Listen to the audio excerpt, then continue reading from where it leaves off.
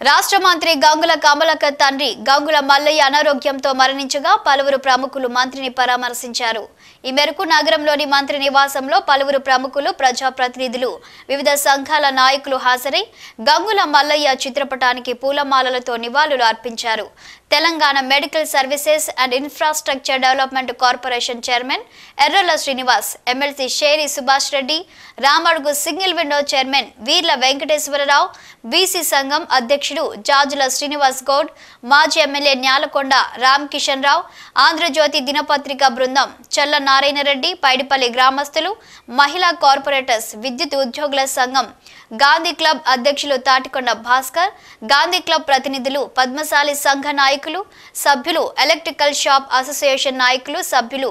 BRS యువజన విభాగంతో పాటు బొమ్మకల్ సర్పంచ్ పరమల శ్రీనివాస్ ఎంపీటీసీ రాకం మోహన్ కరీంనగర్ మున్నూరు కాపు సంఘం ట్రస్ట్ ప్రతినిధులు పలు పార్టీలకు చెందిన నాయకులు హాజరై గంగుల మల్లయ్యకు నివాళులర్పించారు.